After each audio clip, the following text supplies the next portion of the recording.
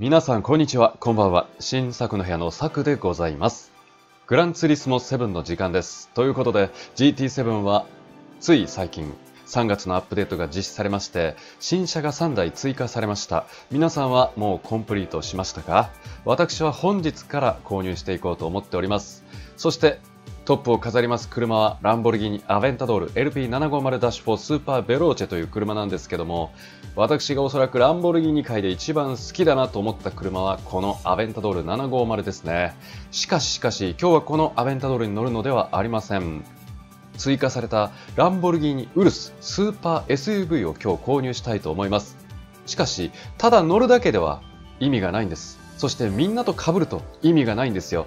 はい。ということで、スペシャルな1台をリバリー職人様に作っていただきましたので、今日は普通にウルスを購入して、車の勉強をして、最後にそのリバリー職人様が作った私の希望するハイパーカーのウルスをご紹介したいと思いますので、本日もよろしくお願いいたします。それではまず、ランボルギーニのディーラーに行きましょうか。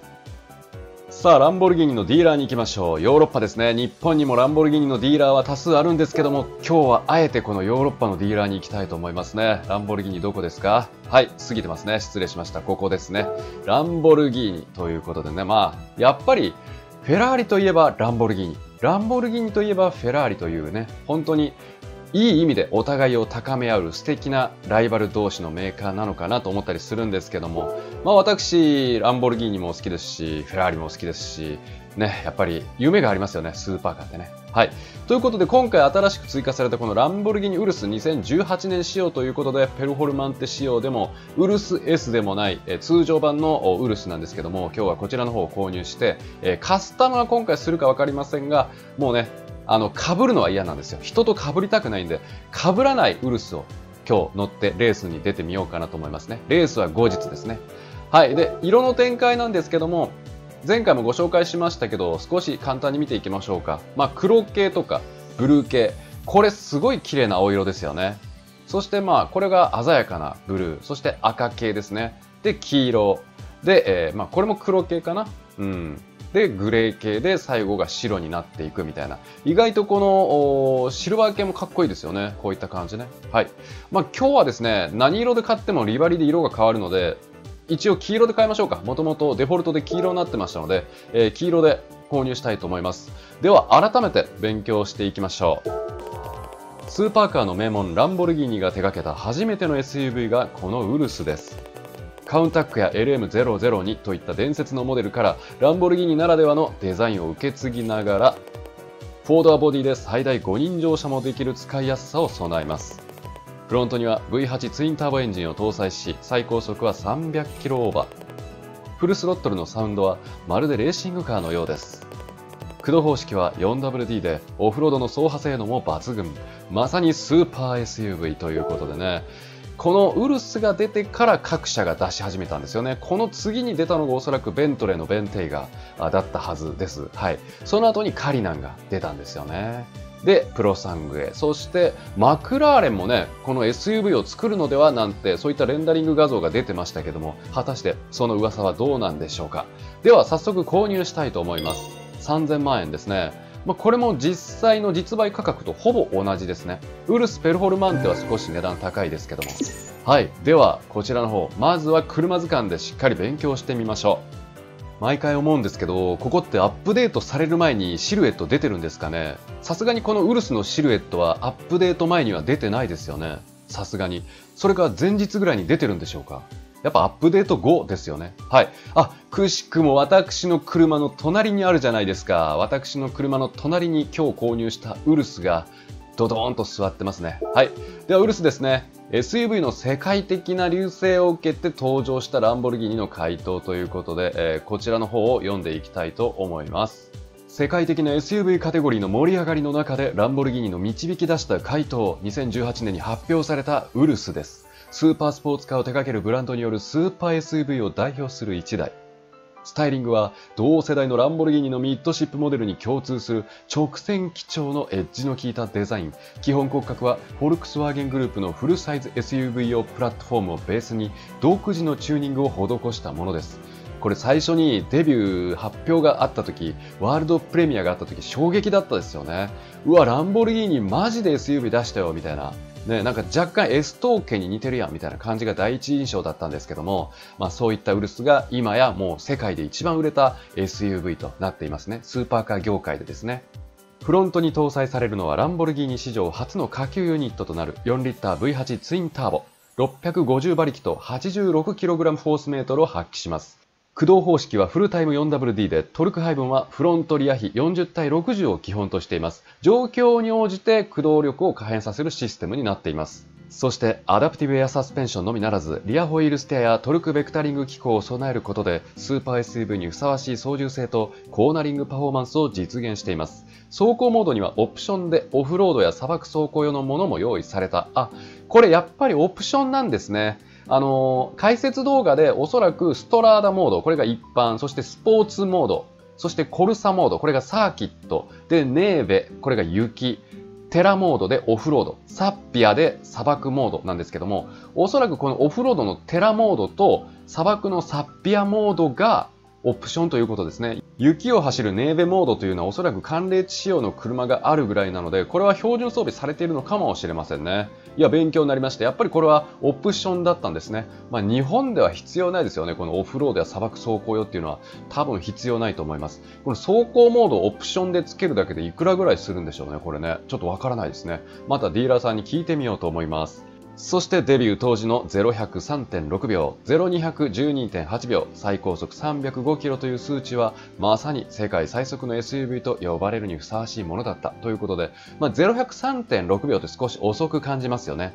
他のスーパーカーやハイパーカーを見ると、え、3.6秒と遅くないと思うんですけども、それはやっぱりこのフォルムですよね。フォルムね。やっぱりもうめちゃくちゃぺったんこのね、あの、ランボルギーニやフェラーリとか、あの、ブガッティに比べると、やっぱり SUV ですから、車重もありますし、そこはもうどうしても仕方がないかなと思いますけども、パワーは満点ですよね。それでは次に GT オートを見ていきましょう。メンテナンスサービスということで、おそらく追加されたばかりなのでエンジンスワップはできません。これ、今後、シロンのエンジン詰めたりとかするとかなり面白いですよね。次にカスタマイズなんですけども、カスタムパーツ。本日乗る車がもしかするとカスタムパーツで再現できるのではと思ったので一応チェックです。はい。スプリッターぐらいしか再現できません。サイドも特に面白みのない、えー、サイドバンパーですね。めっちゃ失礼ですけど。はい。ここ色変わります。ディフューザー色変わります。ウイングに関しては多分上にポコッとついたりとかするんでしょうね。はい。こんな感じですね。それではまずウルスのエンジン音を聞いてみたいと思います。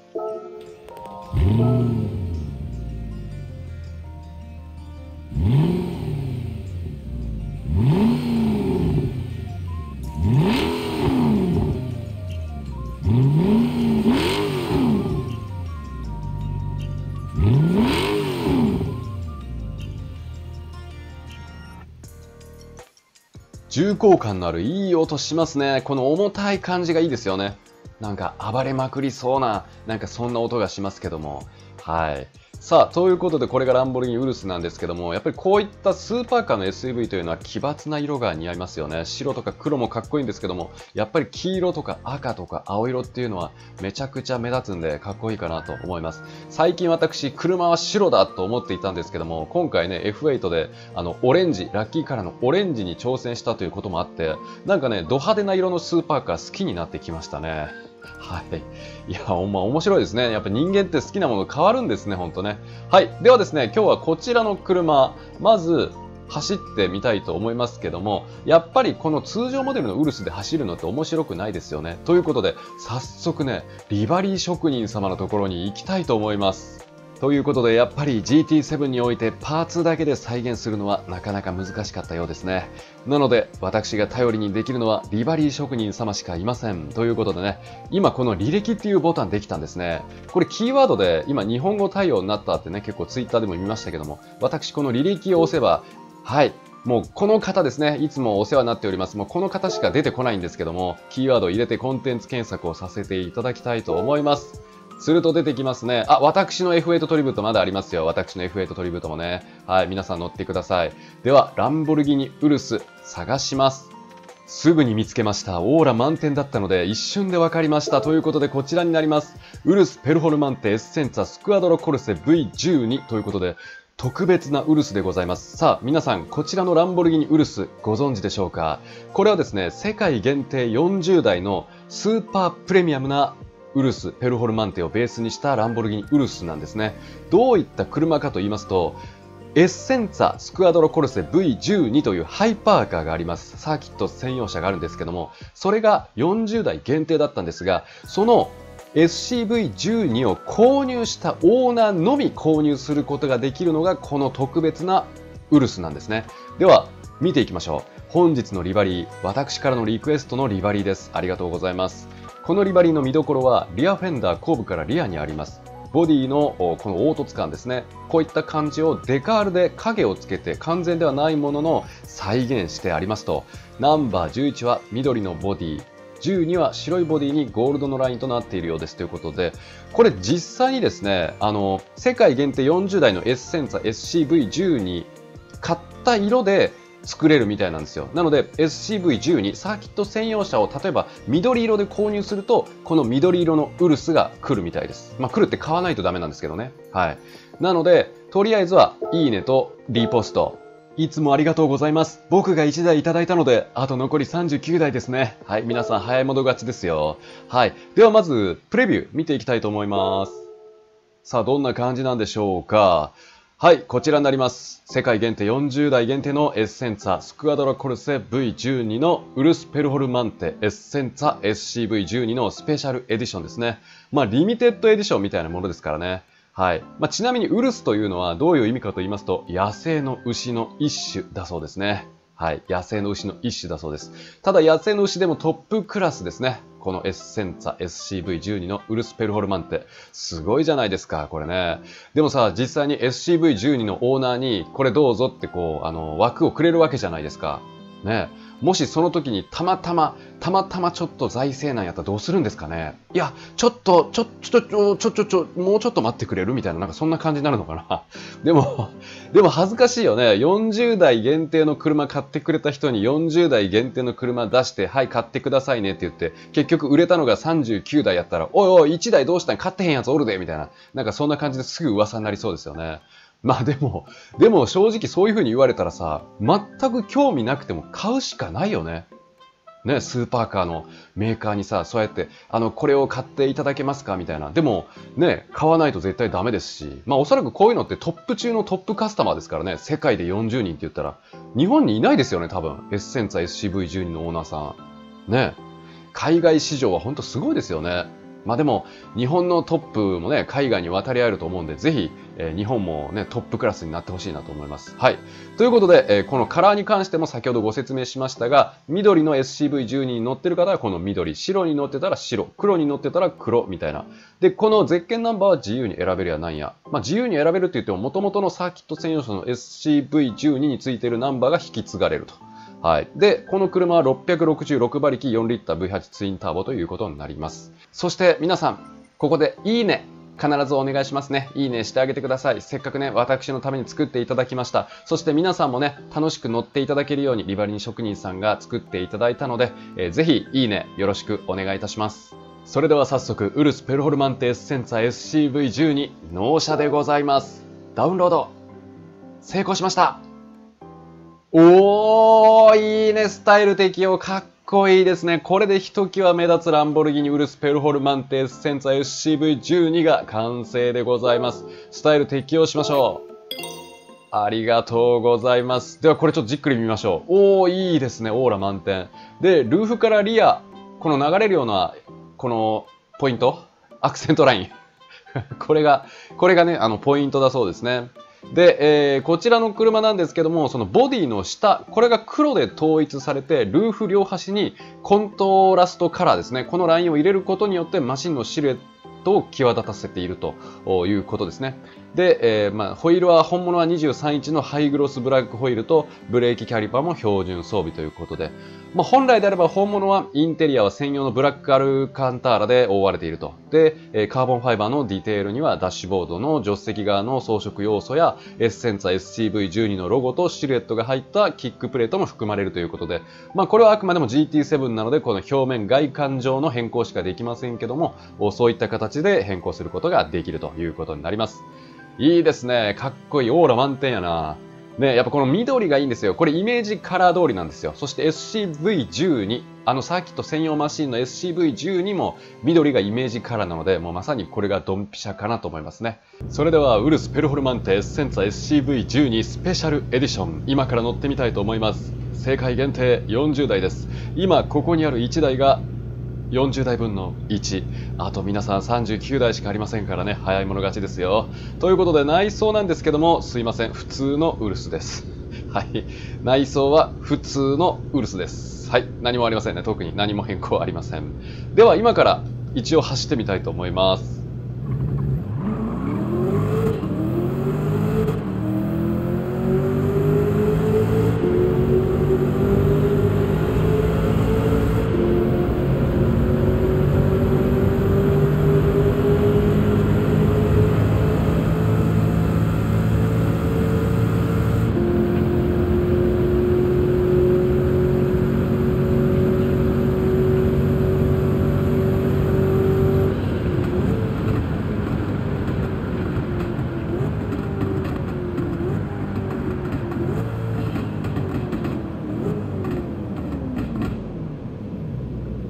やっぱ速いですね、これ完全ノーマルで何一ついじってないんですけども、意外と高音域だったなと、予想ではもっと重たい重厚感のある音かなと思ったけど、意外と軽い感じの音でしたね。はい、オーラ満点のウルス・ペルホルマンテ SCV12 ですね。いやいや、飛行機とのランデブーいいやん、これ今シャッターチャンスですわ、これね。いやーよかった、かっこいいぞ。